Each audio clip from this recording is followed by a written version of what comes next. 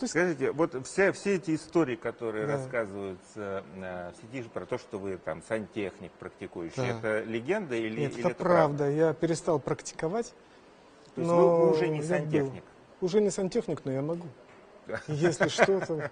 То есть вы- зарабатывали на жизнь? Я зарабатывал. Был момент, когда э, моя бизнес-структура переехала вся в Москву, я остался э, в Латвии, потому что... Ваша бизнес-структура или там, где вы Я э, работал работали? директором, э, и один латвийский был заводик, который купил пять заводов во всей России, это было в начале там, 90-х годах. И все переехали мои э, коллеги, я остался с семьей в Риге и все.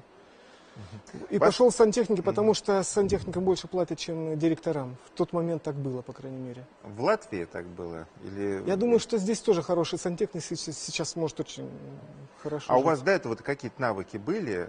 Ну, после армии я там что-то где-то... ну, Это же все приходит. Было бы желание. За 2-3 года я могу сделать.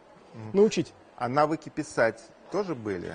Описал я каким-то образом э, всю жизнь и до армии. Там и в школе мои сочинения учительница возила в, район, в РАНО на выставку. Районный отдел образования народного. Вот. Потом э, я учился на психолога и для бизнес-структур писал расшифровки психологических тестов э, в терминах бизнесменов, то есть чтобы им проще было читать. То есть я все время что-то писал. Писал для газет. Я был стипендиатом Джорджа Сороса и участвовал в программе по рекламе натурализации в Латвии. То есть как, все время что-то было. Неполиткорректно, но без злого умысла. Иронично, но без сарказма. Пристрастно, но по-честному. Правда 24 и Евгений Додолев. С понедельника по четверг в 19.30 на телеканале Москва 24.